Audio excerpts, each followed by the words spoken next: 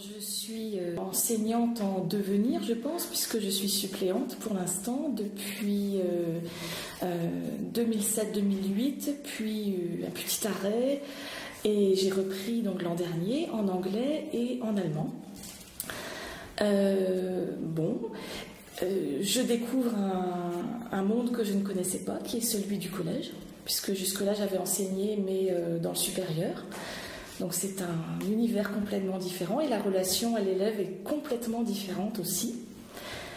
Alors pour ce qui est de, ma vision euh, du jeune face à son travail personnel, euh, j'ai constaté que euh, les élèves considéraient que le travail personnel, c'est uniquement le travail à la maison.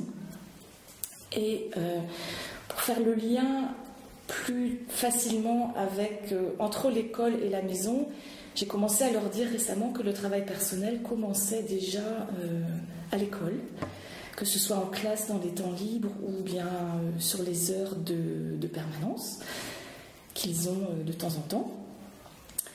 Et puis sinon, je me suis demandé, mais pourquoi, pourquoi ça ne les intéresse pas? Pourquoi ça ne les intéresse pas de se mettre, pour beaucoup d'entre eux, à faire leur travail le soir? Et puis en discutant avec les uns et les autres, puis en, lisant un petit peu des, articles que j'ai pu trouver, euh, j'ai constaté qu'en fait, euh, nous, euh, les enseignants, nous sommes en concurrence avec un univers qui est bien plus passionnant pour eux et qu'on a du mal à, être à la hauteur, c'est-à-dire que quand ils rentrent à la maison, c'est beaucoup plus intéressant d'aller sur l'ordinateur, la tablette, les jeux vidéo que d'ouvrir leur cartable et qu'on a beau faire pendant les cours, euh, on n'est pas à la hauteur d'une animation euh, vidéo. Donc ils s'ennuient déjà suffisamment comme ça pendant la journée, pour certains d'entre eux, malgré nos efforts. Et euh, donc pourquoi continuer à s'ennuyer le soir? C'est un petit peu la réflexion que j'ai menée avec un groupe d'élèves. Pas tous bien sûr, parce que certains, certains font tout ce qu'on leur demande, quoi qu'il advienne mais beaucoup d'entre eux demandent, demandent qu'on s'adapte un petit peu plus à, leur univers, à eux.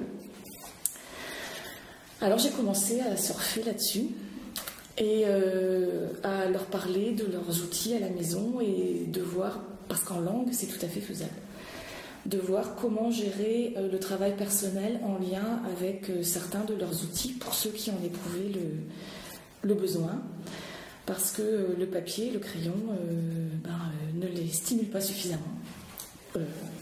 je le regrette, mais voilà, c'est un petit peu le constat que j'ai pu faire.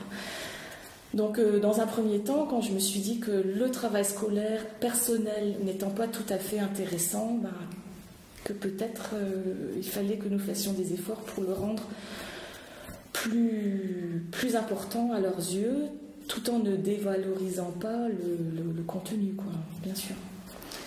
Parce que je suis arrivée avec des certitudes euh, qui ont été vite balayées à ce niveau-là.